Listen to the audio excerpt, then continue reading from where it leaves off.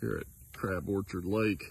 This road is usually underwater, but they've drained the lake a bit to work on the spillway.